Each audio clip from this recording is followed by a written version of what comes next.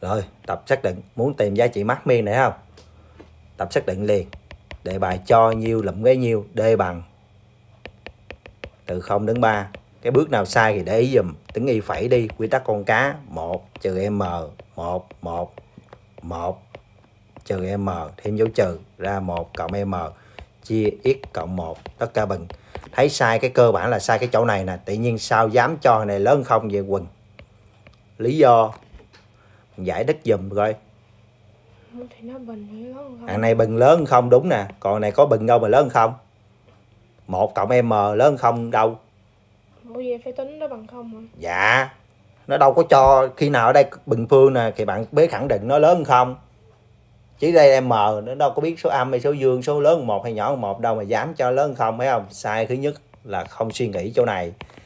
Rồi tính y phải bằng Bằng không tương đương. Này lớn không đúng không? Vậy chỉ cần ở trên bằng Bằng không. Kịp không? Vậy tương đương M bằng mấy? Chữ Trừ một. Thế vô trên. Thế vô trên. Vậy y của mình sẽ bằng. Thế vô ngay chỗ này nè. Có phải là ra là x cộng 1 phần x cộng 1 không? Thì bằng mấy?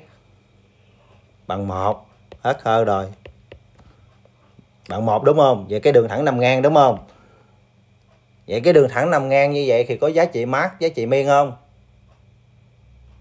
Cái y luôn luôn là một rồi đâu có biết mát miên gì đâu. Đã, nằm ngang vậy phải có đi lên đi xuống nó mới có giá trị mát miên. Bây giờ nằm ngang rồi không có giá trị mát miên. No. Mát miên. Vậy mình sẽ loại cái trường hợp này. Loại nó liền nha. Vậy là mình loại vậy m bằng trừ một loại chốt.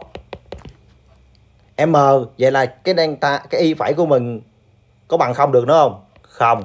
Vậy là y phẩy của mình chỉ có hai trường hợp nữa thôi, trường hợp gì?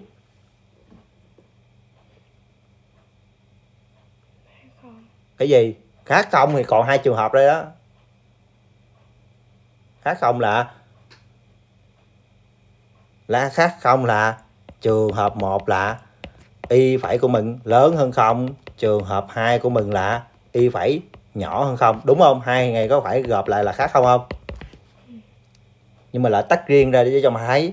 Lớn không hàm gì. Đồng biến đồng biến là đi.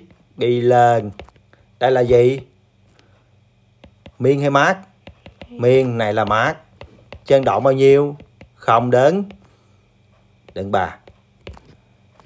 Này, y nhỏ hơn không hàm gì? Hàm nghịch biến. Nghịch biến thì đi. Đi xuống. Này là gì? Mát cái này là gì? Miền chân đoạn không? Không bà.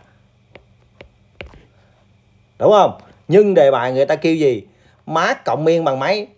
Bằng trừ hai. Có phải là lấy thằng này? Có phải là lấy thằng y của không? Đúng không? Y của không nè, miên nè. Và y của y của ba nè, là mát nè. Cộng lại phải bằng bao nhiêu? Cộng lại phải bằng trừ. Trừ hai. Trường hợp này ổn chưa trường hợp này chưa cũng tương tự bên đây miên đâu? Y của mấy? Y của ba, cộng y của mát đi. Cộng của bằng trừ hai hai này giống nhau không? Giống nhau hoàn toàn, nên lợi gộp chung lại luôn. Là mình sẽ có điều kiện là y không cộng y 3 bằng trừ 2 thế vô y nhiêu vậy? Y bằng x trừ m chia cho x cộng 1 đúng không? Thế không vô đi thế không vô đây. Ra là trừ m thế 3 vô đi. 3 trừ m chia cho. 4 bằng trừ 2 bấm máy tính.